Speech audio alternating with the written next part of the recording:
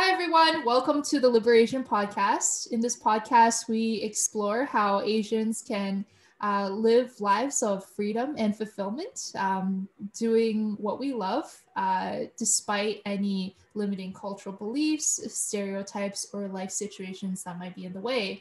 Um, I'm I'm your host. Uh, my name is Linna Zheng, and I've been a life coach for about a year. I love helping people um, find and do the careers they love. And um, yeah, here on the show with us, we have our guest Godwin Chan. Um, he was uh, my high school classmate um, seven years ago, and um, oh, you remember how long it was ago?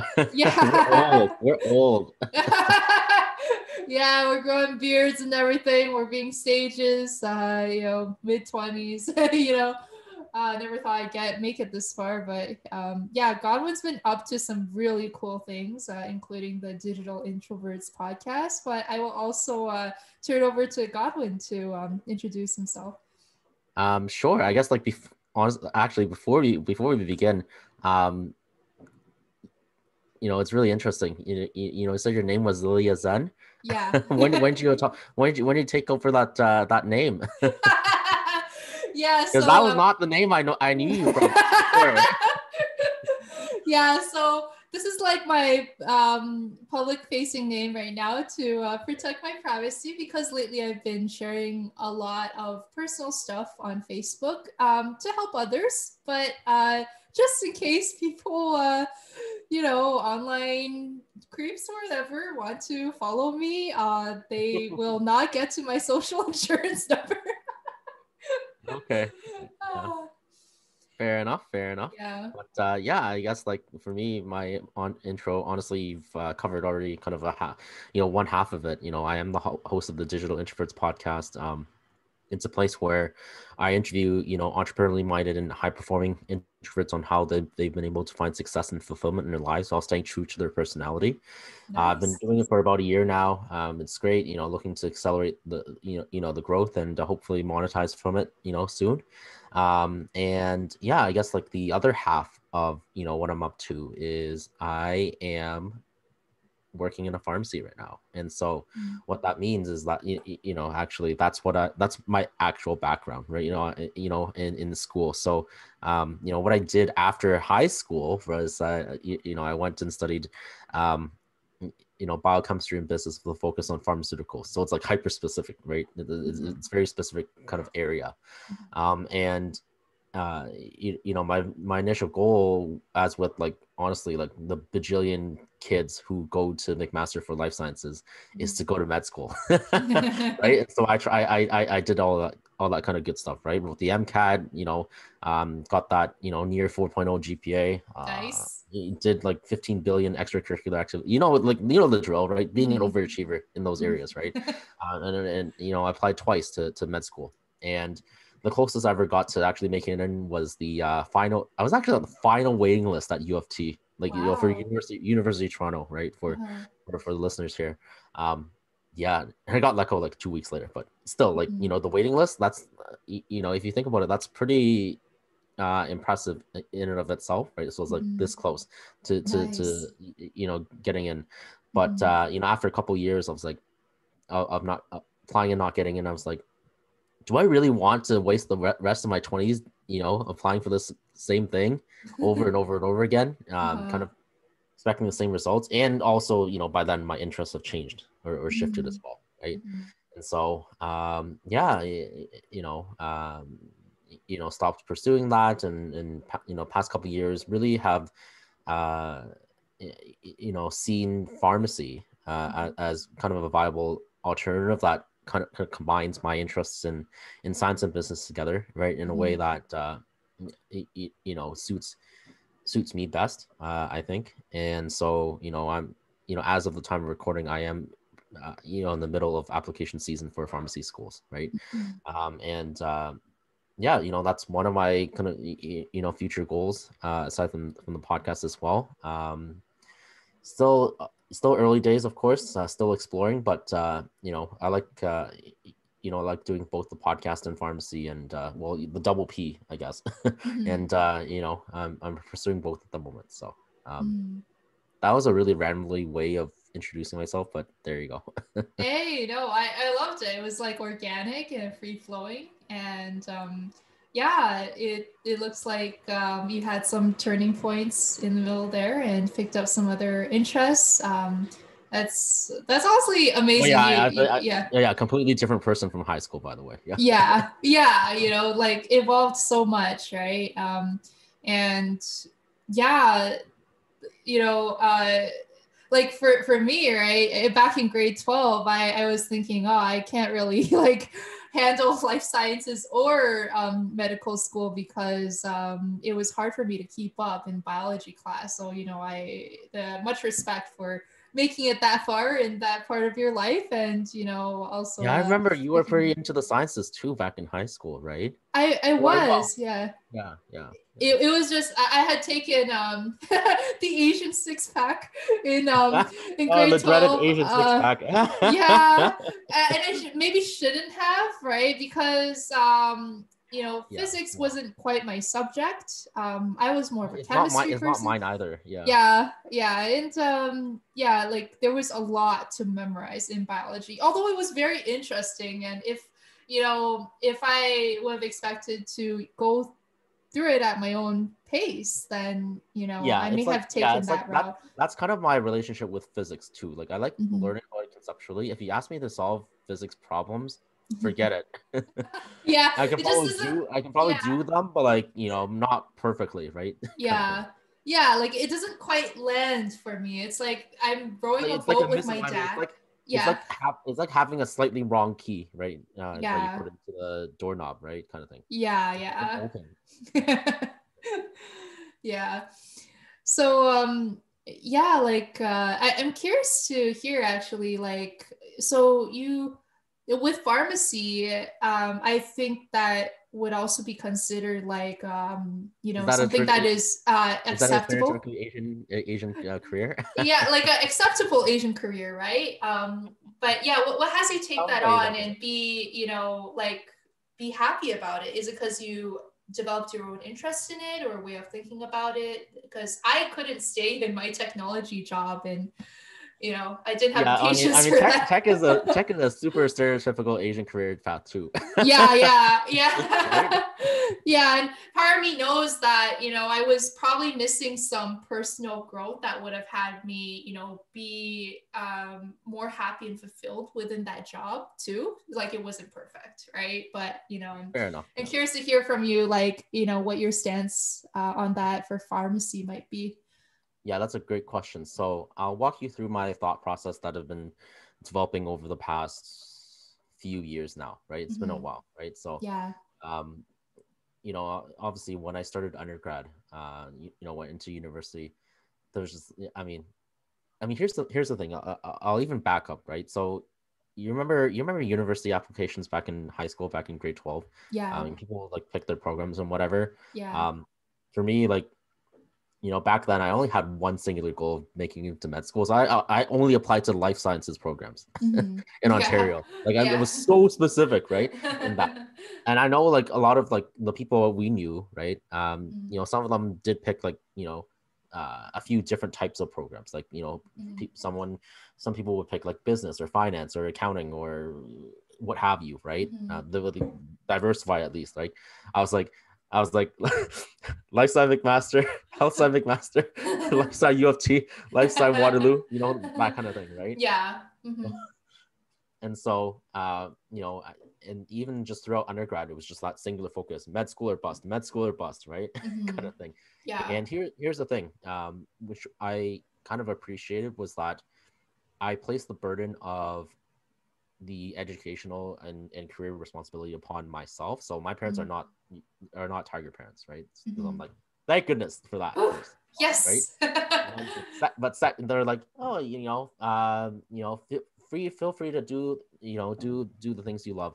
Mm-hmm. Uh, you know, as long as you can support yourself, we're okay with it, right? Kind of thing. Mm-hmm. So like yeah. support like financially, right? Yeah. Um, and so for me, you know, I gravitated towards the sciences uh, when I was younger. So I was like, okay, I guess I'm, uh, you know, and, and also like you know, I actually well, I also took the Asian six pack, right? Uh, yeah. But I took I, I but I took data, uh, data or or data, um, math in grade 11 actually so i Mhm. I, I i i did the fa- I, I fast tracked that in grade 11 but anyways That's good. um yeah so i was like okay i guess i'm you know that was my decision making right oh I, I guess i'm good at science so this is probably the area that i'm going to be interested in and, and not only just science in general but you know the the biomedical sciences right Mhm. so like, Yeah. okay i guess i'm good at this so here you go right you go. yeah. and so i mean like even for for for un, you know during undergrad as well right i was just it you know the concepts came nat- came naturally uh you know the the uh you know things we're studying were interesting to me um you know the the assignment i mean by no means was it easy but you know it was it was intellectually stimulating enough for me to continue going on right i was Mhm. like okay i guess i'm good at this you know i'm good at taking tests exams um Yeah. you know i'm good at getting getting high you know high gpa high mark okay i guess i guess this is my area right and so i was going to continue uh through that Mhm. and uh, what ended up happening was I went, you know, and, and I, I talked about in the beginning, you know, I went for the the highly specific, uh, you know, program I, I graduated from. Yeah. At the time, I mean, it, it's it's officially called Biomedical Discovery and Commercialization, or Mhm. BDC for short. Mm. Um, and and I was actually a guinea pig. I was part of the first full year cohort of that. You know, they were oh, still nice. figuring out what Wow. like. So I was like, Uh-huh. I was, yeah, I was kind of risk taker already, right? Kind of thing yeah. but um, yeah, that program was very specific on uh, the you know basically the entire drug discovery process. So from Mhm. How do how do people you know discover or or you know potential uh, you know potential uh, drug compounds in lab uh, to all the way to how do people you know how do uh, pharmaceutical companies market and sell you know drugs right kind Mhm. of thing. So we explored a lot of the the obviously the biomedical science is still important, but also Mhm. you know we did a lot of business. Mhm. Uh, we looked at a lot of business aspects as well. You know, we took classes on you know accounting, finance, um, marketing, like you know all these different types of of things, right? Mhm. I mean, I- which is, is still, uh, uh, you know, obviously, uh, you know, um, have had a growing appreciation for, you know, in in, in undergrad. And, and I mean, and also in high school, I was part of DECA, right? In high Mhm. school, so I was like, okay, this is, uh, this is kind of interesting, kind of thing, right? So, you know, Mhm. that's why I did DECA in high school, right? And so, but uh, you know, in any case, you know, that kind of intersection between um, science and business, you know, has been that you know super interesting to, to me you know over the past three four five years now especially after leaving school Mhm. um, you know you know i knew right away that this is uh, the area i want to work in or i want to operate in Mhm. um, because i you know what's funny is that you know i after undergrad at mcmaster i took a one year master's degree um, in montreal university of montreal. And so i was doing i was doing you know research right? And, and people say you know you know uh, you probably know people who do scientific research right? Who Mhm. are you know in their master's programs or phd programs things like that. Um you know i i, I did that for you know a year or really eight months. And i was like yeah no this isn't for me. Mhm. you know pure academia isn't for me either right? Mhm. um you know for me i just didn't think it was a good fit. Uh you know for me as well. And so i kind of gradually realized that at, at the same time with uh with with med school. It's like yeah i mean Mhm. not it, it's you know i'm good at it. I know the concepts kind of thing. Do i really envision myself in the or you know uh you know day after day for the rest of my life? Not really right? Kind of thing. Do i ma- envision myself um you know in, in the lab uh all day every day for the Mhm. rest of my life right not really right so i Mhm. couldn't visualize it it wasn't always a, a natural fit and then obvi- you know obviously i started a huge networking journey also after undergrad so i started started uh leveraging social media like crazy i don't know if you you've noticed like especially linkedin like you know Oh yeah, you you posted a lot. You've been posting for a number of right? years. So I'm like, seen, I've been like, you know, uh, hyper kind of active on and firing on all cylinders on social media. You know, for Mhm. you know, there. Uh, so here's the thing. You know, I'm not looking to be social media influencer or whatever. I hate the word influencer. It's so like, it's so not my style, right? Mm, okay. It's, it's all about um, building relationships. That's all what I'm all about. And Mhm. I initially started, you know, this networking thing. I used to go to in-person networking events. Remember those were a thing, you know, you Yeah. People in person, right? Yeah, yeah, yeah. that was Um, what uh, in style a year and a half ago. Yeah, yeah, very, very, very long time ago, relatively speaking. But uh, yeah, no, I was just saying that uh, you know I used to do that. I pushed myself to meet new people because Mhm. um, you know at the time finishing undergrad, I was like, man, I just know students. I need to, I need to learn what the real world looks like, right? right, yeah. Yeah. I, I wanted, uh, you know, I was specifically looking for people who are, you know, also in the same place, you know, early career, all the Mhm. way to, you know, people who have 10, 20 years of experience, you know, Mhm. uh, kind of thing. They, they've walked the walk, talk the talk, uh, talk Mhm. the talk. And, uh, yeah, you know, did, you know, that's how, you know, leverage, you know, social media, you know, LinkedIn, uh, know, was kind of my first point, but, uh, now I'm feel, firing on like, you know, LinkedIn, Twitter is a very good networking tool as well. Instagram as well. Um, Mhm. Facebook groups are really good too. And then there, there, there's this newer app called Clubhouse, which I'm, you know, um, really kind of using a lot. Um, Mm. You know, it's the it's the it's the audio based, uh, you know, social networking site or, or platform. Um, yeah, but in all in all, it's just to build relationships and, you know, uh, I guess like where pharmacy stuff came in was, oh yeah, so I started working at the pharmacy I work at now uh, a Mhm. couple years ago. Uh, for me, it was just I didn't my have any specific objective other than to say that, oh, I'm getting paid for this internship kind of thing. I guess you know, Mhm. you know, quote unquote, right? But um, you know, I wanted to see if I was going to enjoy it, or I was if I was going to just like the experience Mhm. right? Uh, you know, I, you know, I made the mistake of committing way too early in my life to med school, So I Mhm. wanted to, um, you know, actually experience, you know, on the job training and see if this is kind of the environment I want to operate in. It's like, Mhm. okay, you know, this is pretty good, um, and so I was like, okay, you know, and and also, you know, I keep up with a lot of uh, a lot of business news, tech news, um, you, you know, uh, you know, funding news as well, like a lot of Mhm. a lot of that stuff. And Mm. so I was like, oh, eventually I was like, biotech, this is the area, you know, I am going to operate in, right? Mm. Uh, this is you know, super fascinating because not only does it have, um, you know, my, you know, the best of both worlds of my interests in, in, in mind or at heart, Mhm. um, but it presents a cornucopia of opportunities as well. Mhm. Um, not only, you know, for me to get my PharmD and get, get my pharmacist license and just, you know, practice at, at, you know, the local store or the hospital, which of course, you know, that's the heart and soul of being a pharmacist, right? Is to, is, is to help patients and, and, and whatnot. But, you know, my eventual goal or what I'm kind of, you know, veering towards is, um, you know, is either working at a biotech firm or eventually starting one of my own as well. Mm. So like, you know, um, you, you, uh, you know, I guess I'm I'm still pretty entrepreneurial at heart, and so, um, you know, that's eventually where I want to end up, right? Uh, and so that's the perfect nexus for me, right? So, you know, Mhm. tech, business, um, science, right? So, you know, that, those three crossroads. So Mm. that's a little glimpse into kind of my my thought process and the other thing was I didn't I didn't try to rush it as well Mm. because if you try to rush your career decisions, it usually doesn't work out well for you. Because I know I you know I know a few people who are you know who have or who are going through med school and then realize it's not for them. Mhm. Yeah. And by then it's a little bit too late. You've already committed all the time and and and financial resources to pursue that career. Yeah.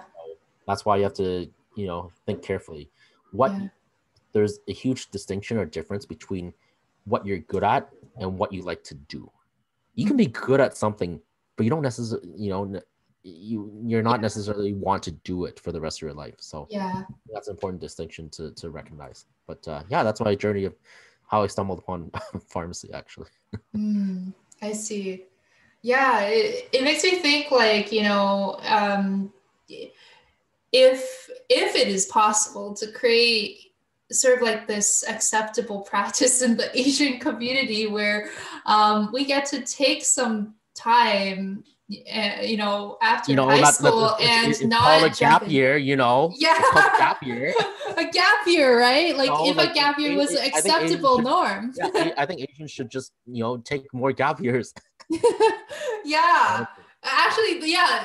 The the only I mean, gap year. I think, I think that's the that's the thing. I think that's Yeah. one great suggestion for for you know Yeah. people in in in the Asian diaspora at least, right? So yeah. uh, just you know normalize that that behavior, that action, uh, because Yeah. if you think about it, at the end of high school, no one really knows what they're doing. That's true. honestly, Yeah. right? Like, you, you know, you're asking these 17, 18 year old kids to commit to a you know a university program or Uh-huh. or college program or whatever, right? Yeah. That you know you're you- you're predestining predestining them to this type of career, this type of area, right? Mhm. So having a gap year to figure things out, I think is you know super important and Yeah. not a waste of time, Yeah. as as some people would say, right?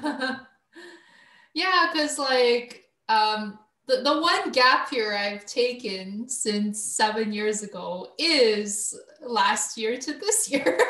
you know, doing this, basically doing this business and spending time how I'd like to spend it. Um, right. Um, addressing mental health concerns as well. But yeah, yeah, like, you know, having people take a gap year and um and like maybe a more effective uh I don't know, careers class, right? Well, careers class um did point me, you know, it did give me some hints as to like what my personality was, right? But of course, being Wait, you Asian, found careers class useful? I actually kind of did in a Okay, sense, like the That's cool. Yeah. Okay. Yeah, I don't the- remember anything. oh, okay. Um, what I remembered well, was that, that that was also because I took it in summer school. But anyways. oh, I see, I see. Yeah, I guess the quality really does vary depending on who's teaching. Um, but yeah, that's when I first took the Myers Briggs personality test. Uh, I guess I'm one of those people whose personality hasn't fundamentally changed. Like, you know, maybe I've become like an ambivert or like a, Okay. you know, structured one day, spontaneous the other day kind of person. But like the other stuff has stayed the same. And um, uh, the recommended careers there, uh, you know, Yeah. What did they didn't recommend to you? Yeah. like technology might have been one of the recommend careers Okay. but actually it was overwhelmingly like you know social worker coach counselor that kind of stuff which is what i'm doing now you Uh, know I mean, I mean, that was a, looking back retrospectively. That must have been a big hint, right? So.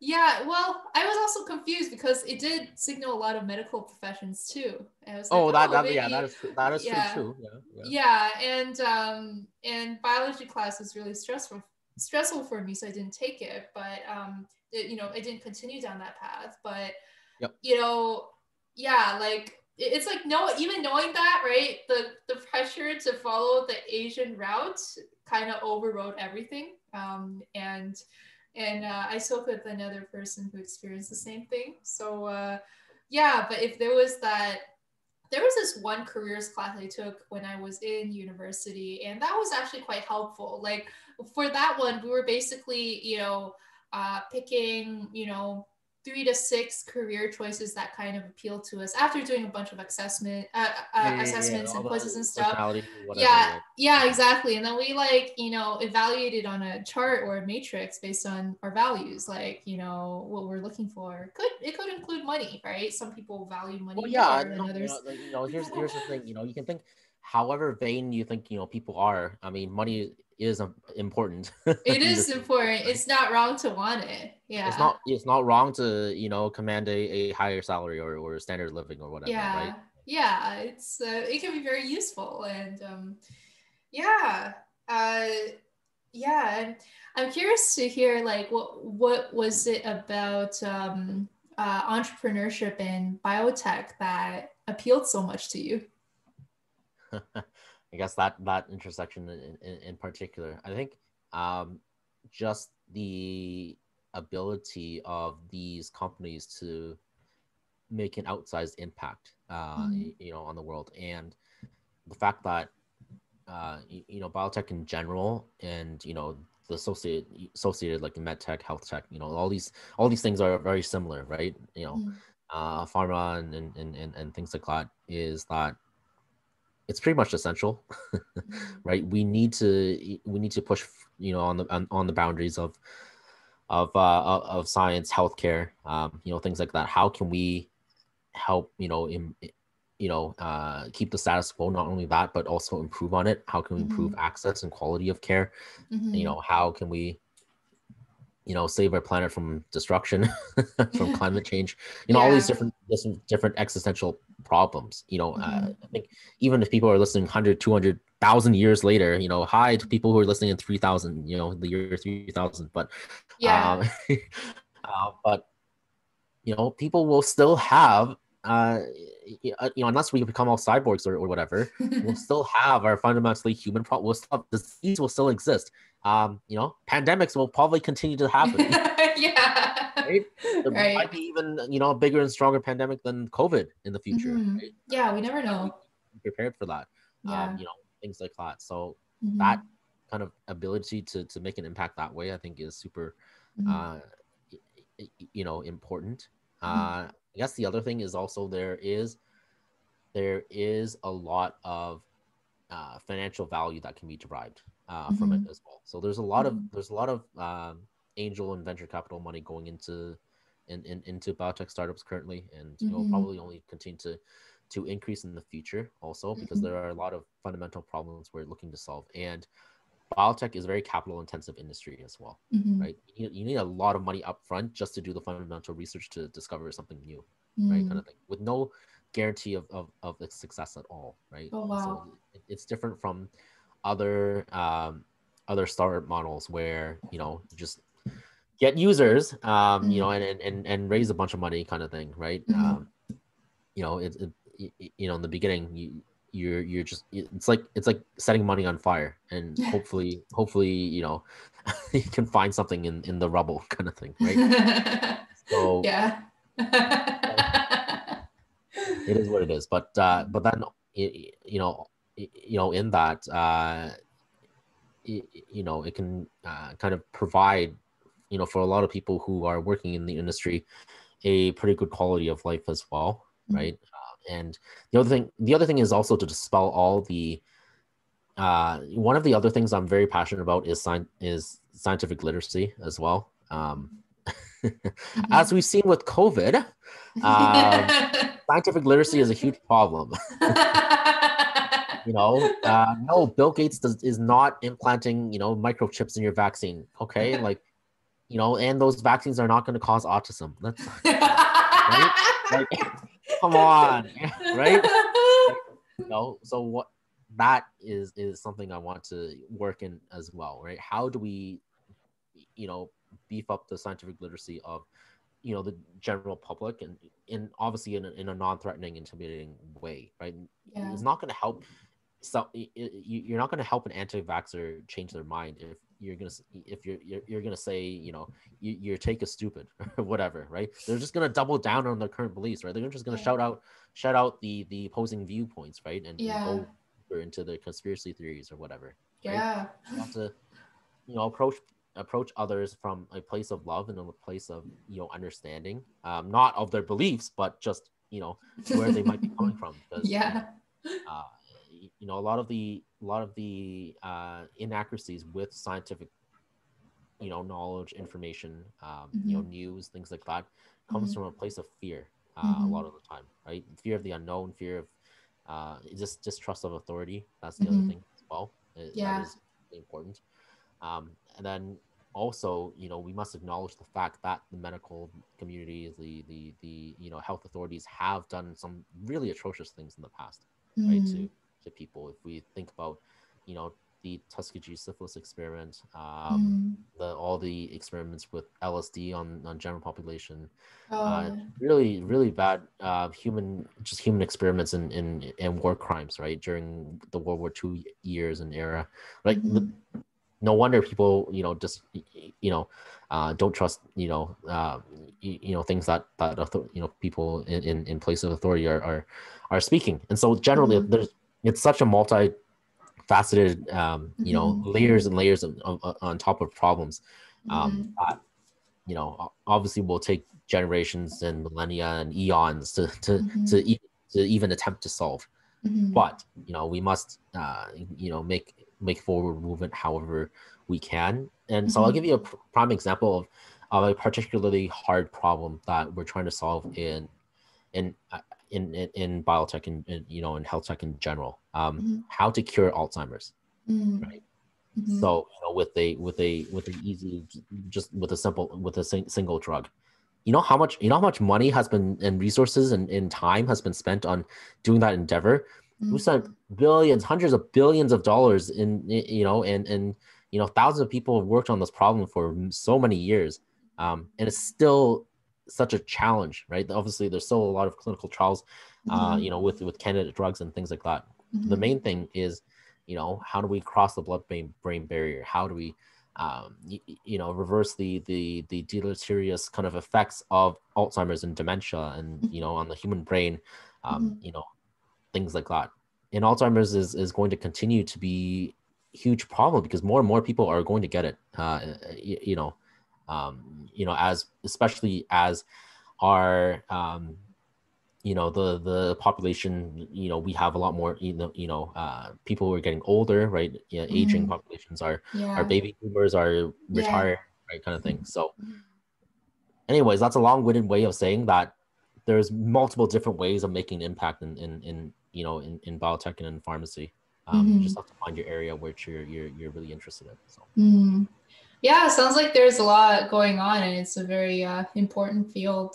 Um, yeah, so you know, and sound like also like that intellectual challenge was something you were looking forward to. Um, yeah that, your- yeah yeah i'm a nerd yeah, yeah yeah um yeah i can relate to that because like um that's what got me interested in cybersecurity and what where i fell off the rails is in the operational work it was like i was like it's like yeah i'm watching a presentation about a security tool but i'm falling asleep. Why am i falling asleep? Oh maybe because i'm not that much a fan of the uh, finding out how the knobs and buttons work um Right, of, how you know we- of, how of a computer you know? Of, yeah, a, yeah, yeah, of how- a program. yeah and, and how do we you know you know in particular kind of the the uh you know stop you know cyber attacks or things like that right yeah it's like it's like yeah you know as long as i don't have to touch the technology i might like it you know I mean, it's- Right, that's, that's here's a the big thing, gap right? A lot know? yeah yeah here's the thing right a lot of people like a lot of things at, at a high level but if Yeah. you go like deep into the nitty gritty of things Yeah. um you know people are like me- sometimes turned off like that's my relationship with programming for example or Uh-huh, you know yeah. comp sci right computer science. Yeah. Like i've done i've done basic html and, and python back in my day right? Yeah but mhm, if you ask me to you know build a you know build a build an app or whatever i'm like yeah. forget it. There there's probably people who are much better at me who can learn quicker Yeah. than me. Right, at, doing that right? But i still Yeah. enjoy using apps right kind of thing. Yeah like yeah. same like the same thing with, with cybersecurity right? I like Yeah. I like learning about the you know the the impacts of you know the the SolarWinds hack and you know Mhm. the WannaCry attacks and, and things Yeah. like that and, and what that means in the broader scope of just cybersecurity Mhm, you know of nation states in general. Yeah and i think that's a that's a really fascinating place to be. But oh you ask yeah. me you know the day to day like how how do we prepare you know prevent DDoS attacks? I'm like I can't answer you on that. Yeah. Oh, configure firewall A, B, C, you know, or chase down a bunch of people um, to get their work done. Oh, a bunch of people in the IT department. Yeah, no, I'm not really like a policewoman. You know, I'm not like, I'm not good at accountability. I'm a bit, you know, on the gent- gentler side. So that was another part of it. But yeah, um, yeah, I'm sure like personal growth could probably help to cover some of those gaps if I ever want to go back, uh, but not at the moment. You know, not at the moment. I want to you know just like uh, keep my two feet where they are right now. Um, but yeah, um, uh, yeah, there's something I wanted to uh, ask about. Um, it was uh, it's in the back of my mind. Oh yeah, yeah, that phase where you kind of um, went out and met a lot of people and talked to a lot of people, um, right?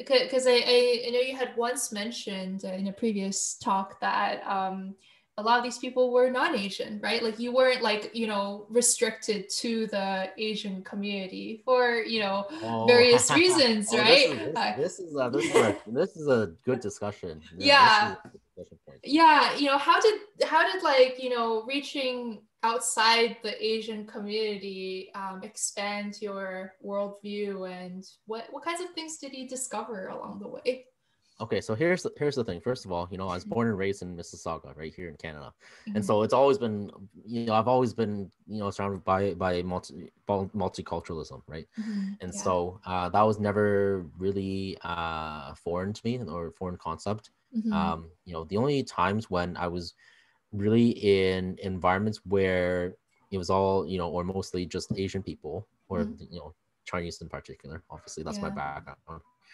Is either Saturday school for Mandarin or Mhm. sun or, or, or Sunday church Uh-huh. or um I think that's it really. You know, the Oh, weekend okay. activity were really just, you know, the time when I spent a lot of time with, you know, other Asian people, right? Uh-huh. I mean, like there wasn't even that many, uh, y- y- you know, Asian peers or whoever. I mean, we had Mhm. some like in primary school and middle school. It wasn't until we got to high school that was when you know the population skewed more, a little bit more a towards lot more. more- a lot more Asians, like for me, right? So, Mhm.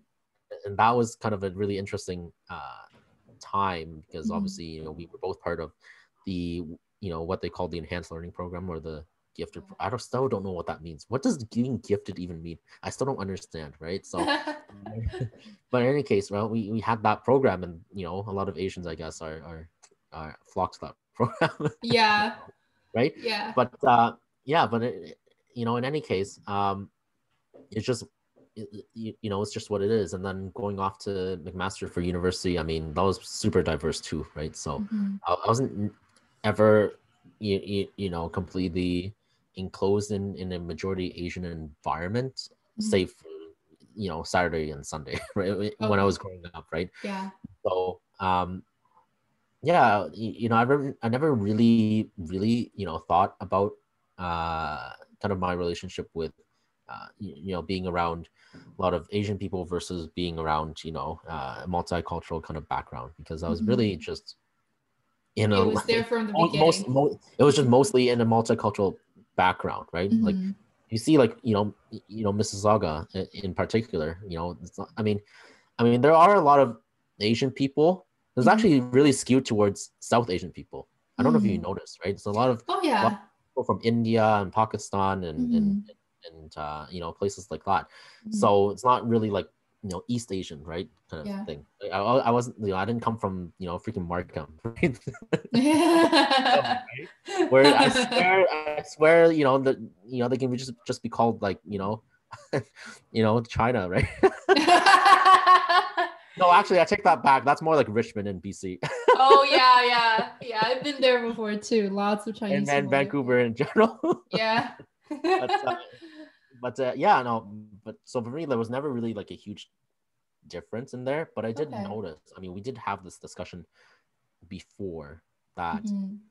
um you know when we whenever we hang around you know uh, you know friends and family who are who are of, of asian descent um there's just Mhm. there's always this just this weird like vibe this weird competitive Mm-hmm. vibe you know what i mean i never really enjoyed it right it's like- it's like it's like it's like you know you know uh things like that it's just yeah. it's just like you know there's always a there's always a comparison game in place i'm like and for me like i never really liked the comparison game i'm like Mhm. who who honestly who cares like Mhm. i don't care i don't you know i don't care if my if my cousin or or or or whoever is like you know harvard grad or or like you know like like laundry list of achievements kind of thing i'm like good Uh-huh. for them Look, I, i'm you know generally happy for the success right or Mhm. whatever i'm not, i'm just here doing my thing right who cares Mhm.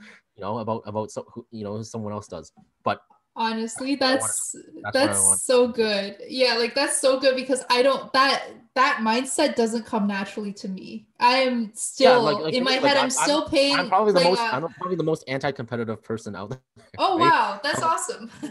right like i'm like great good for you like you know Mhm. i'm genuinely ha- genuinely happy like i don't i'm not jealous or anything right Mhm. kind of thing but i feel like a lot of you know what happens in the asian diaspora is that weird sense of you know i want to up one up you right kind of thing right? i don't like it right yeah Mm.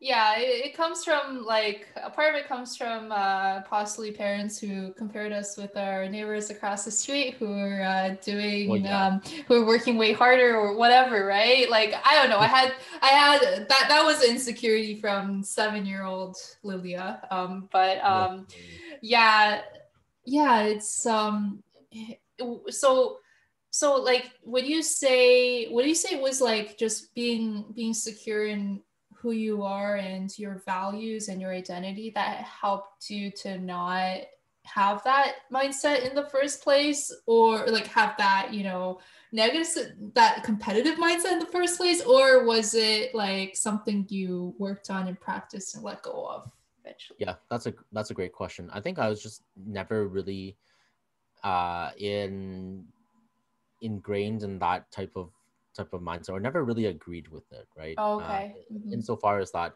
you know a lot of people see life as a zero sum game you know we have mm-hmm. we have clear winners and losers i'm like mm-hmm. why can't we all win together right? kind of thing right yeah so um so that's that's why i came came you know where it came from mm-hmm. um and this t- i mean this type of weird uh, competitive undertones also exists within you know pre med within the pre med community as well, mm, right? Okay. You know that's kind of you know, it wasn't until I left McMaster then I realized that oh, you know, this kind of existed and it was it was a little bit toxic actually, mm-hmm. right? So yeah, uh, I never really subscribed to it, but you know, a lot of other people are like, and that's why you, like you know those courses where they have put like peer evaluations into incorporate that into your final mark or final grade. Mm-hmm. Um, you know, you have those people who are like, oh, maybe I'll just give this person a little, you know, lower lower score, you know, that, that kind of thing. I'm like, I never you know, I never that thought never crossed crossed my mind, right? To do that uh-huh. to someone, right? Kind of thing, mm. right? So yeah,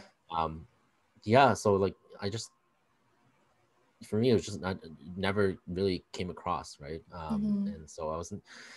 I guess I wasn't really stereotypically quote unquote Asian, I guess, and not. hey, that's that great. Sense, right? That's great. You know, you, like, because I've met people who've had, you know, consciously needed to unlearn that mindset um, and to feel worthy and on par with everyone else. I mean, yeah, it comes it comes from a, a, you know this this type of thing comes from a lot of insecurity as well, right? So yeah.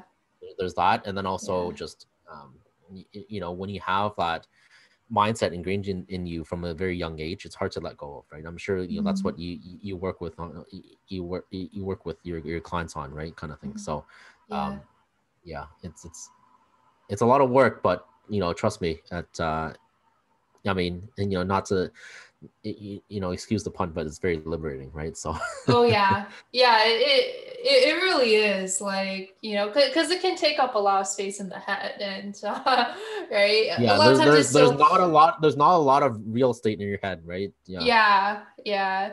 And, and it kind of like I remember you posting on social media, like, you know, uh, something about like, you know, don't not comparing ourselves to other people. So it's like, yeah, even that, you know, that far back you were thinking about There's no there's no there's no need to. Everyone is at different points in, in their lives, right? The only real mm-hmm. comparison game you need to do is compare yourself. Um, yeah. you know, past you versus current you versus future you. Yeah. Like are you are you improving on yourself day by day? Are you headed yeah. in the direction you, you enjoy? Yeah. That's the only comparison game I play. Right? Yeah, so. yeah, that's that's the only one probably worth playing, and um, you know, uh, uh what is it? Uh, yeah, I'm also curious to hear, like, to uh, to figure out if like how much of insecurities is like nature versus nurture right that is something i don't know the answer to yet right that's but a that's a good some... question i think uh i think a lot of it does come from the environment you're you're raised in so a lot of okay. nurture a lot of nurture yeah i think so um okay like especially if you're i mean it also depends on what type of asian household you grew up in mm-hmm. uh, like for example if you if you did have the the experience of growing up with tiger parents um mm-hmm. it's probably whole different experience than than someone who had you know non-tiger parents right kind of thing uh-huh. so yeah yeah, my my t- my parents are far, far from tiger parents too. Um, but yeah, like they, my mom would make comparisons um, between me and kids uh, fairly often and say, "Oh, you need to improve on this, this, that," you know, like a hundred things. I'm like, ah, not sure. Now I look back at it, it's like, yeah, I don't think that was realistic. But um, did you ever like? Did your parents ever compare you with anybody, or you know, were they actually Yeah, I pretty mean, like, liberal minded? It was just um not not really it was Oh, just that's great. oh, it was it was really like oh this is what your cousins are doing this is what your whoever is is, is up to because you, you know um actually you know only a third of my family is here is here in in in the west right canada Oh, us okay. kind of, kind of thing Uh huh. like the majority of my family is actually back in china right so Okay. um, Yeah. they're like and you know obviously that's a completely different culture that's even foreign to me right? When i went back like a few years ago i was like i was mm-hmm. like why are there so many chinese people? It's foreign to me right? Yeah, yeah. and and on top of it, they come so from that's because I, I that's because i'm culturally canadian right? Yeah. Yeah, yeah, yeah me too. that's, yeah that's true. Yeah, yeah. that- that's true too um there's there's also yeah, there's also regional differences too that's right right i'm from Mhm. you know my, my heritage is, is from southern china right so Mhm. so hong kong macau guangzhou um, uh-huh. that entire area pearl river delta let's just put it that way right yeah. um, Okay. so that's different from say like you know uh being in like you know the beijing metro area or whatever right so yeah. Yeah, it, the yeah, my family is from like the southern China as well, like Sichuan, Hunan, um, that area Oh, okay. with Okay, with all the spicy food. Yeah. southwest all the good spicy food is yeah yeah yeah, yeah, yeah, all the spicy food. um, but yeah, no, like back in China, China, I do feel out of place. I'm like, well, first of Well, all, I I, mean, it's think really- slow Yeah, I and mean, it's talk really, slow. really, yeah, it's really obvious actually to to to native Chinese people that you're foreign, yeah, you look the same, right? yeah, yeah. It's like, yeah, like just the way I talk and think, it's slower, and I don't know how to Like, I'm- like, I- I and, you remember- know- Like I remember, like I was like I'm pretty, I, I think I'm like I'm pretty like I think I walk like you know fairly fast, uh, you know, in, in in general. But then I realized I was probably one of the slowest people in Hong Kong. yeah. Oh, Hong Kong so is a fast, right? particularly uh, fast place. Yeah. it's really fast fast paced, right? So Yeah. like, Yeah, it, it also so like you know being Canadian, it's so hot back in China. Oh yes, I can't that's stand right. it. That's right. Like, know? I cannot stand the humidity. we always choose to go back in the summertime. That's not yeah, the that's, best that's, time. that's, when, that's when everyone is available to be, right? But then yeah, you, yeah, You, you know, land at the airport, you instantly die from. from the heat. yeah, yeah. Like they, they literally, there's like a Chinese saying like you, you're like an ant on a frying pan. It's like you know, burn, burn it. oh baby. yeah. Yeah, um, but yeah, going to going back to my earlier question, like, um, what did you discover when you um, reached out and connected with so many, um, you know, pe- people you haven't met before on social media and otherwise? Yeah, it's good. It it uh, really helped broaden my horizons because I was Mhm. willing to meet with, you know, uh, people from all all over the world, right? And that Mhm. is really good because um you know people from all over have different mindsets right and a lot of different perspectives on things Yeah. and so we need to be able to to to speak to these people to, to discover like how life is like in that part of the world right that kind of Mhm. um Yeah.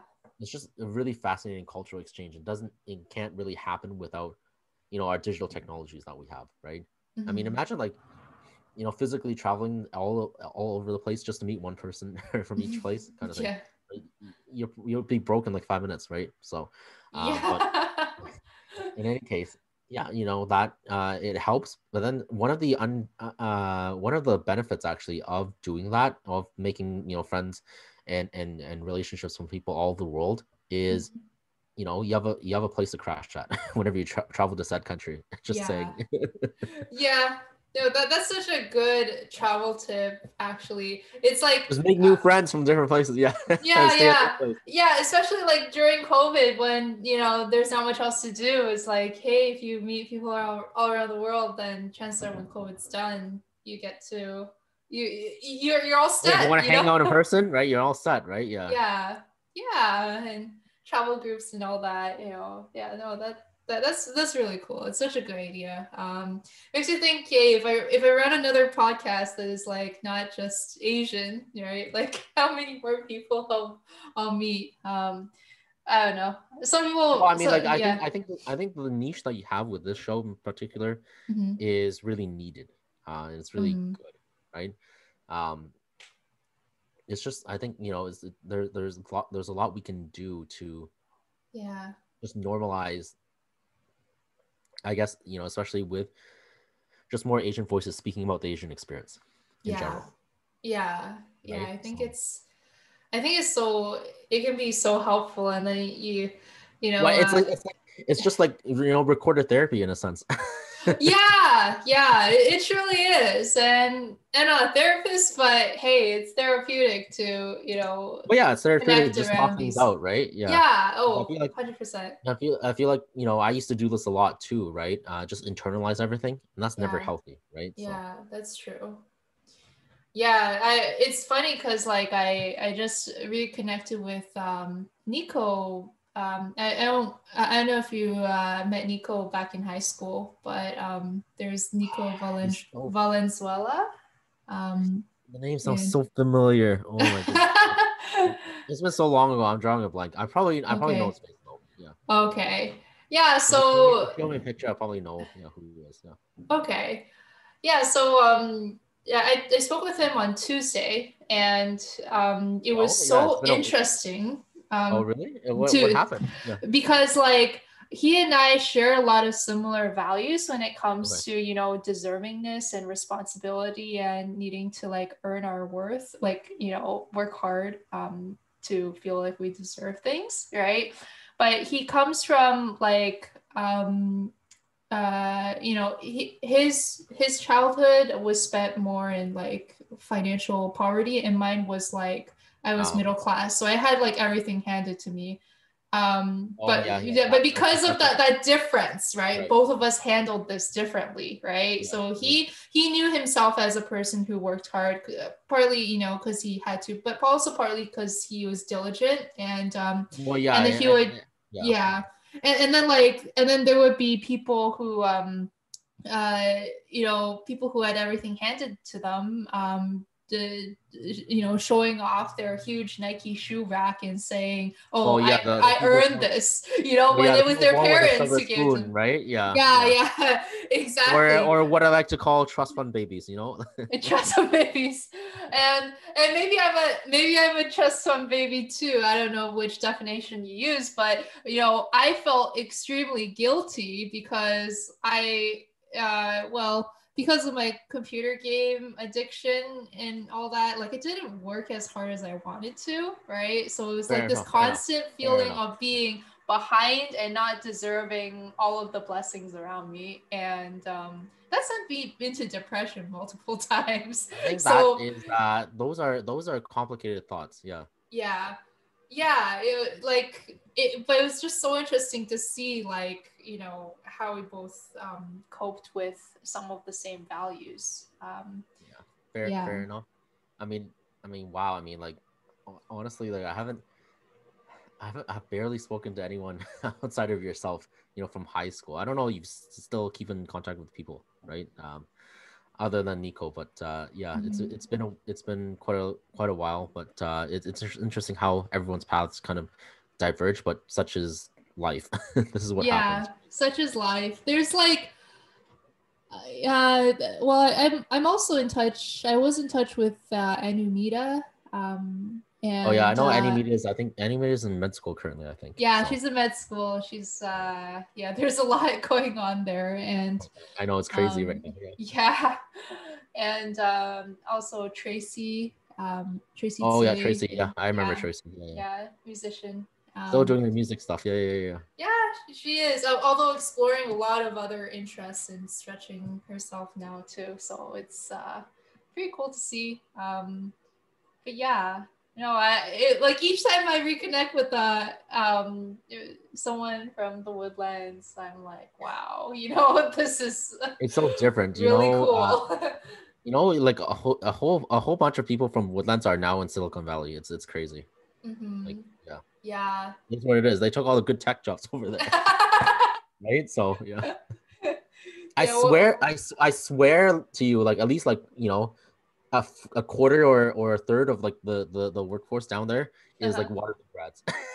yeah, yeah. Yeah, you're probably right about that. Um, just Yeah. something about Waterloo. Um, you know, the I mean, that's where you went to for undergrad, right? If I remember. yeah, that's where I went to, and and you know, I just I just watched everybody else, not everybody else, but a lot of other people go down to Silicon Valley and said, "Have fun, guys," because I wasn't really that keen on doing those intense programming jobs, um, or Yeah, it- or I- doing those intense, intense, you know, uh, technical those- interviews. Yeah, Yeah, even, yeah, it's like a process. Like I've seen people like how to ace your technical interview, how to ace, your, you know, your your your, your whatever. Um, Yeah. and like that interviewing process, uh, you know, s- even for internships is so intense. I'm like, how do you guys manage all these, right? So yeah, yeah. It, it it can be super stressful, and there's like you know high '90s people. Um, just like kicking butt doing school and their hobbies and i'm kind of sitting there like hey if i can pass 60% of my programming tests like you know the I'm good. i'm good if i can resolve 60% of the bugs i get to barely function and crash land you know great you know hey, at least it works. at least it works. Yeah, at least it works. It's like standing on toothpicks, and if a tsunami came in, would definitely not survive. But here you go. You know, that's my assignment. yeah, Don't ask me to to code like you know mission critical, um, you know, blow up the world kind of uh, you know yeah, programs. yeah, yeah, yeah, that, yeah, kind of thing, right? Oh wait, Yeah. but, but you know, by the way, I learned how to do this on Stack Overflow. You know? yeah, yeah. I overflow like I overflow the entire stack, and now um, now the whole world is piled up with gray goo. You're welcome, everybody. uh, oh man, that's funny. Yeah. it, it reminds me of back uh, back in the grade 12 chemistry lab uh, i would make mistakes while pouring stuff into stuff and you know i'm like yeah you know you might not want me to like do that very fine-tuned stuff because Yeah, uh, yeah, yeah. i can be pretty clumsy you know Oh, let, oh, let me tell you, chemi- let me tell you, chemistry in, in university is like that, but on steroids. Yeah. it's- oh it's shoot crazy. yeah yeah yeah glad i didn't go to it go into It's good. it I'm like. I'm not, I'm on the, I'm on the, a little bit on the clumsier, clumsier side too in the lab. Um, and so, Uh-huh. yeah, don't, don't worry, I've been there. okay yeah i guess we all uh yeah it takes uh practice i guess but yeah it's like coke and mentos you know like all erupt that kind of thing yeah, as long as you don't blow anything up, it's fine. yeah. It's like this is a slide with people with someone's brain cells on it. Don't mess it up okay? You know like i'm like uh, yeah, we'll I guess like, that- yeah, I guess like that, part of part of that was, uh, or that was kind of partially also why I stepped away from research too, because I, I Mhm. felt like I wasn't, I wasn't that good with, uh, with with like experiments in the lab, right? So, yeah the hands-on stuff the yeah. hands-on stuff. I wasn't particularly good at, right? So Mhm. Yeah. Yeah, I'm also yeah, I'm more of like a you know ideas and concepts. I'm, I'm a I'm a thinker. Yeah, I'm Yeah. a thinker. yeah.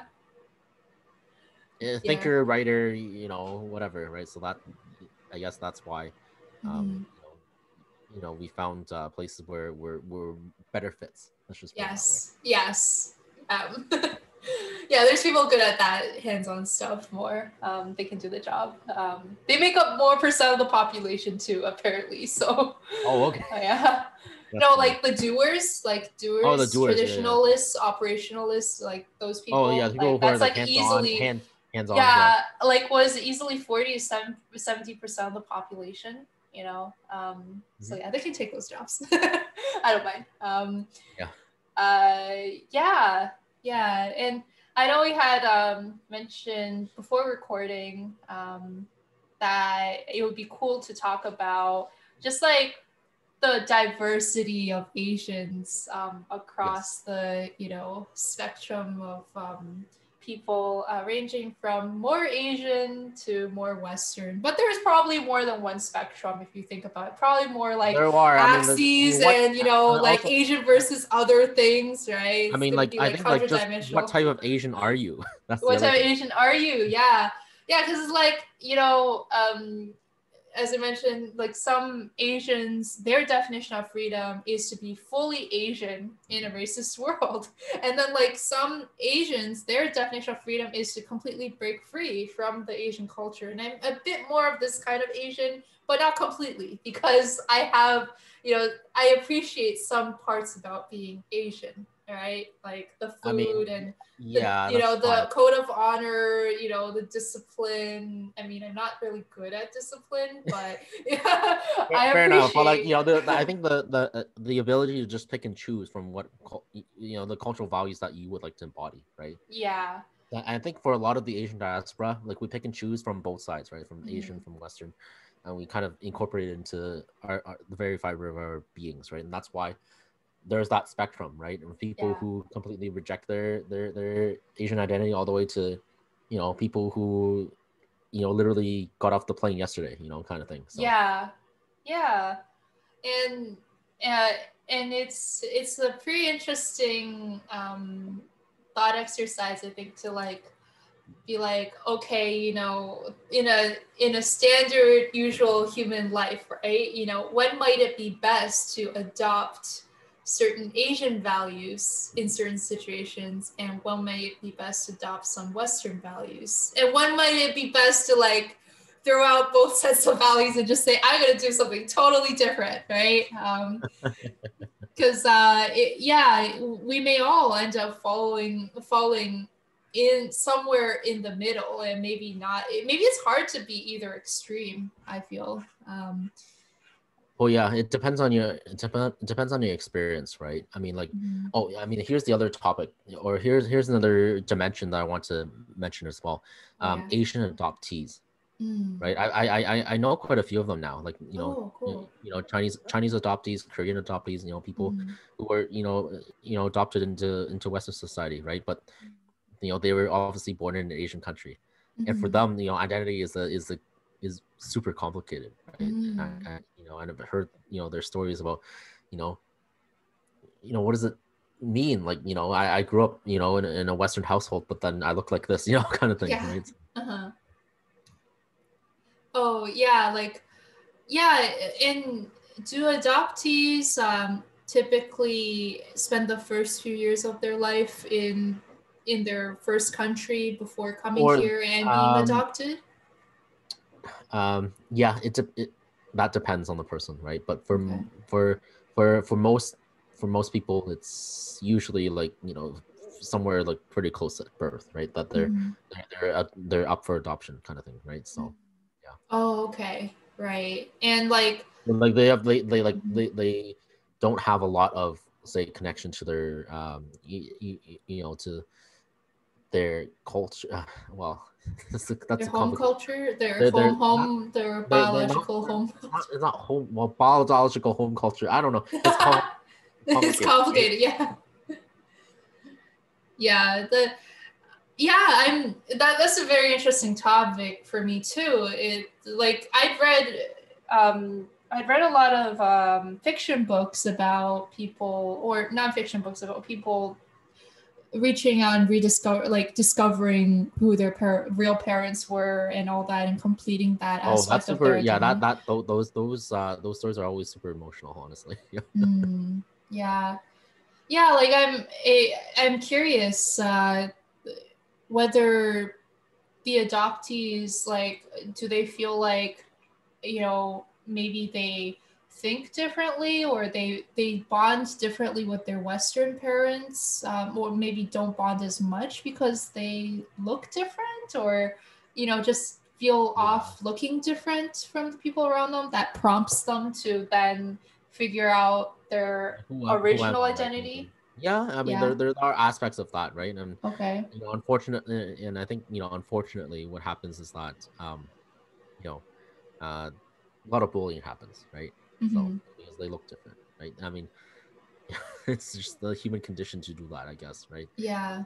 Very unfortunate, and so you know uh, that I guess like in whatever kind of uh, journey you know these a lot of these these adoptees realize that oh I am different, right? Mm-hmm. But how am I how am I different, right? And then mm-hmm. they kind of discover i guess their their their um their their biological culture right mm-hmm. uh in, in that way right? So I Mhm. know, you know, one of my guests who, um, you know, came onto you know the Digital Introverts podcast. He's a Korean adoptee, right? Mhm. And so, um, you know, now like you know, you know, um, he is really, you know, obviously, you know, he's in the U.S., but uh, you know, he's recently really been embracing, you know, Korean culture, learning more about it, right? Mhm. Um, you know, learning how to speak the language, um, you know, the the food, um, you know, the the you, you know the music, the shows, you know, all, all the different you know kinds of cultural, uh, you know, exports, things like that. Yeah. It's pretty, it's really interesting just to see that discovery process Yeah. it's like it's like it's, it's like losing or it's like finding a long lost like you know possession right Mhm. or something like that so it's really interesting yeah Oh wow. Yeah, yeah. It, that kind of reminds me actually of like some stories of uh, Native Americans who um, finally they, they rediscovered their ancestral roots, and then they're like, oh my the, god, this is where Yeah. yeah yeah because like they may have been like raised like um completely western with like no knowledge of their traditions but then suddenly like you know going back to their people and and um you know playing the same drums singing the same songs and realizing wow these are my people It- like this feeling i mean that, right that's the it's, it's it's really um surreal feeling right i think Yeah. right Yeah, Um, I can imagine. Yeah. It's very like, you know, I guess very instinctual and um uh when they and it, it makes me also uh think of research that has been done on intergenerational trauma and whatnot. It's like um yeah, it's like within ourselves we unconsciously may hold a lot of knowledge about the people who came before. The the downs yes the traumas and the ups too. Um and yeah it's it's quite fascinating how that works Yeah, no, it is. I mean, I think honestly, the the the the the real or only difference, um, you know, between Asian adoptees and, and us as second generation, you know, people yeah or or or immigrants is that uh, we just had a lot more cultural components in our upbringing than them. yeah That's the only difference, really, right? So, right yeah and and so i guess the experience becomes very different like there isn't maybe i don't know for me there's still probably a i still feel a need to um at some point read more about chinese history um to understand Oh, Chi- you know Chinese history is so fascinating. I don't know. oh like, yeah me, like, I mean, I'm I I mean, I'm a history history geek in general, but Mhm. Chinese history, my goodness, Mm. So interesting. Yeah. It is actually. What What are your favorite parts of Chinese history? That's a good question, honestly. Mhm. Um, I've been thinking about how we all, how did it all start, right? Just the at the very beginning, you think about, y- y- you know, um, you know, I look at genealogies and things like that. It's like, Mhm. you know, what, where, when did, you know, when did the idea of, you know, declaring yourself emperor was a thing? You know, I am now ruler of this entire dominion. right? and, and I'm going to wear this wear this piece of metal on my head. You know, like you know Uh-huh. what I mean, like yeah.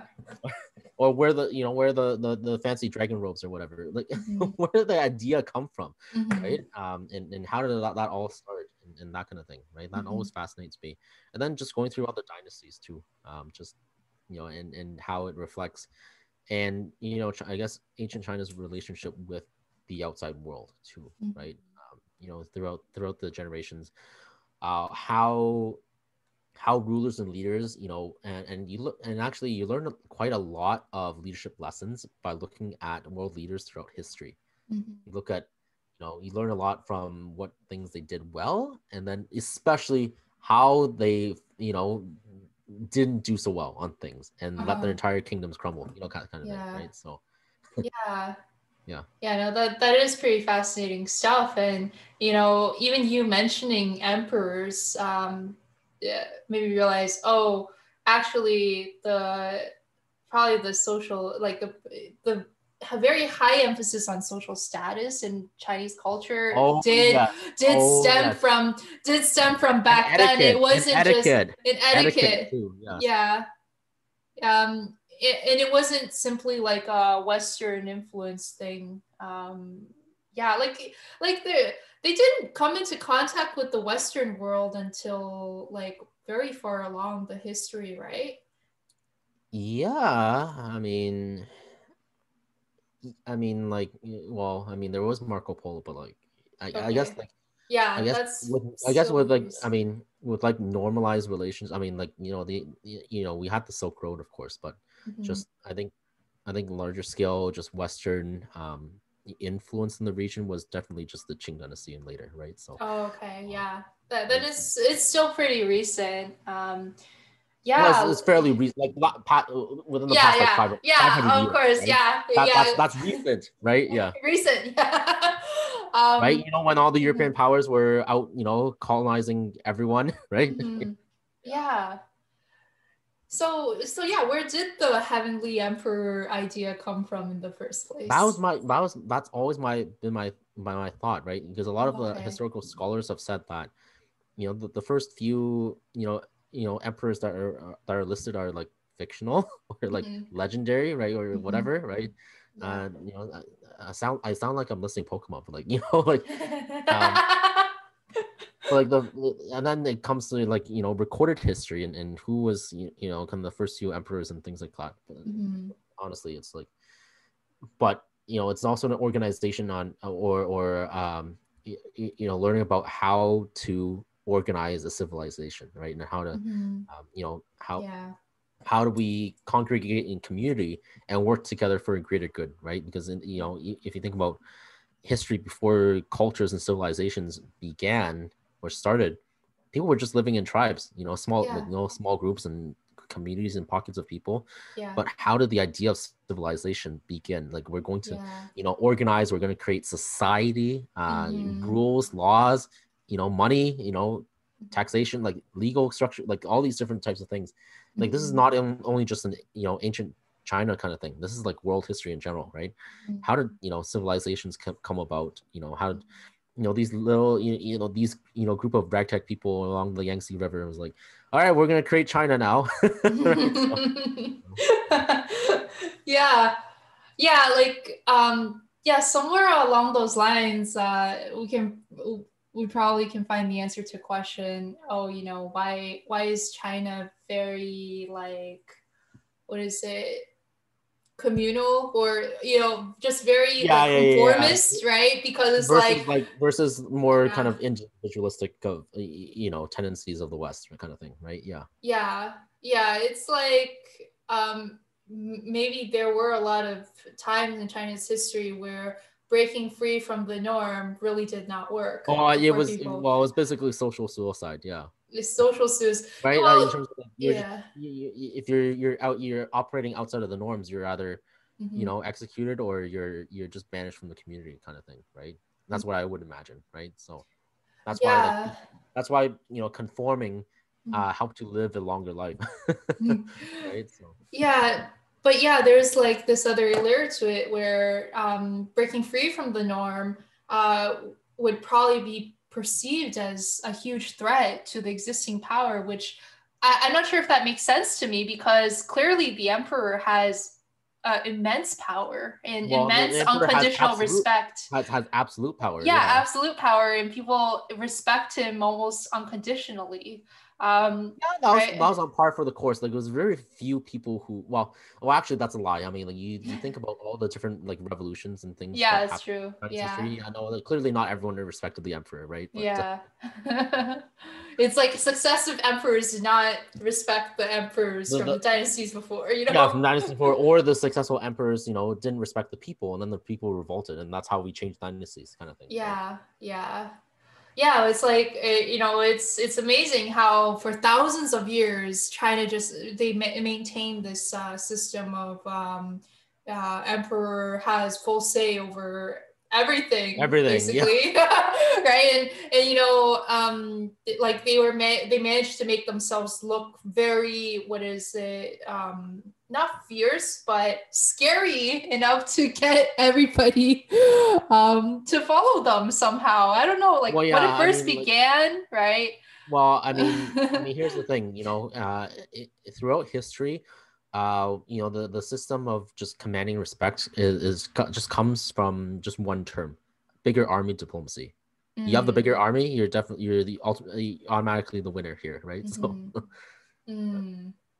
Yeah, so uh, I, I guess then that um, part of the reason why Dynasty survived so long is because the leadership was able to rally and keep well, and all these the, gather the strong armies. of- of. Yeah, And- and yeah, strong, yeah, Strong, strong armies help, yeah. yeah. Strong armies under their command, and yeah, you know, very smart people. But yeah, I can imagine intimidating, right? It's like, oh, just one person at the top. Um, I wonder how they did it, like before everything, right? It was like a bunch of you know random people on the Yang- Yangtze River, um, uh, and then one guy is like, "Hey, I have Hey, uh, gotten heavenly take- decree. I'm going to yeah, yeah. Under under heaven, I'm going to now I'll tell you what to do. Yeah. yeah yeah may, maybe i don't know maybe there was some kind of uh, i'm not going to say tsunami because it's japanese but like you know something going on and he was like oh don't worry god has or god or heaven has taught me how to how Yeah. to lead us all into um abundance and safety Yeah, whatever it was you know so sounds sounds religious actually but yeah yeah, Yeah, it probably yeah. was um yeah and then and then yeah yeah i guess like a stream of random events happening after that that are maybe not so random um led to the way things are today. Just like intuition trying to fill in gaps. Yeah, yeah. No, it's it's just it's just fascinating how we all got got here, right? I mean, like yeah. obviously, you know, even just most of us don't even know, you know, beyond our great parent great grandparents, like who's you know our ancestors, right? And what do they do, Yeah. that kind of thing. Um, and yeah uh, I mean, like you know, I probably I I I clearly come from somewhere, right? uh, you know, within within Chinese history, and and you as well, right? So yeah yeah and um uh, yeah there's there's a lot i still don't know and um and, and yeah like a question just came up in my head also like at the beginning of western civilization right you know how did this whole social status and hierarchy idea come about and why did people decide that individualism was the uh, was the best way to live and yeah you know that that would be pretty cool to learn about too yeah, that's that's that is true too. Uh, I mean, Mhm. although although I will say, it used to be a lot more communal because I mean, it's survival, right, was kind of the key thing. But uh, yeah, Yeah. as we as we became more abundant, I guess, in resources and, and things like that, yeah, no, Western Mhm. society did become a lot more individualistic over time. Mm. yeah yeah i guess uh yeah when the system changed then individualism actually i don't know maybe created No, it was really bigger- the industrial revolution. uh, industrial that- revolution right that kicked okay it off right people Uh-huh. started you know started flocking to the cities for work uh they left Mhm. their farms behind you know that kind of thing right? Yeah. that's when, like, now it's like you know the, the city phenomenon right now we're a lot more individualistic we have to survive we have to look out for ourselves right we can't necessarily trust you know people next door kind of thing right so yeah yeah they may have drugs or gun or well that's whatever yeah whatever it is. yeah, so um yeah, no, it's been great. Um, great discussion today. Um, touched on a lot of different topics, a lot of. No, i could go on for six more hours yeah yeah, yeah, no, the, this this may not be the last episode that we do. Uh, certainly, um, you know, lots more to explore. Um, but yeah, do you have any um, closing thoughts for our audience before we head out? yeah honestly um honestly the, the the the kind of mantra or the thing that i always encourage people with is to just start i don't care Mhm. what it is right so Mhm, you know whether whether whether that's you know your creative hobby your business idea um Mhm. you know telling your parents you don't want to go to med school anymore you know that kind of thing yeah. um, just just do it you know uh, Mhm. rip the band-aid off just just do it you'll feel so much better um you know Mhm. um you know by by just you know uh, just by going at it um obviously in do it in a tactful way right just don't you know i mean you know if you're you know in your last year of university you want to you, you know drop out i'm like I'll, I'll I'll be the first to say just finish your degree you're almost there anyways right kind of thing. Yeah. But you know, if um, you know, you, you know, you're really passionate about something, or you really uh, you, you don't want to pursue it, uh, give yourself permission to do so, right? Don't let Mhm. anyone else say what you can or, or, or cannot do, Yeah. you know, um, and just and just go for it. I mean, like the best, I think the best ideas, concepts, companies, things like that have come about uh, strictly because no one, you know, everyone else around them said no, don't do it, Mhm. and they they did it anyway, right? They Mhm. they were they were the rebels, right?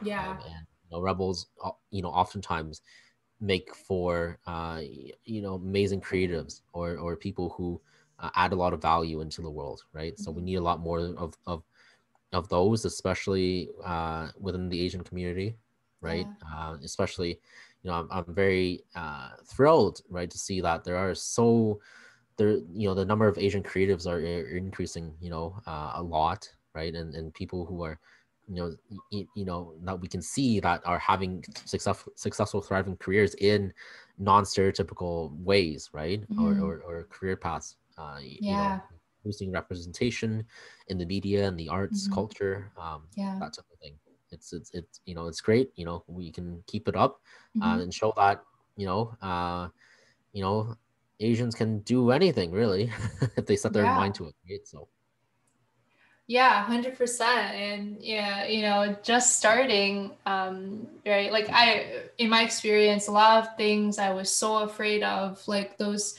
fears didn't really come to pass. Um, it, it always ended up better, that turning out better than I expected. um, much of the time, um, you know, like the world didn't fall apart. So, yeah, thank you so much, Godwin. Um, this is uh, a a great, uh, again, a great conversation. And yeah, you know, I wish you the best with um, digital introverts and, uh, you know, pharmacy and all your pursuits. well we'll see where it goes thank you so much Yeah, no problem. All right. Um, and for our audience, um, we'll see you again in the next episode.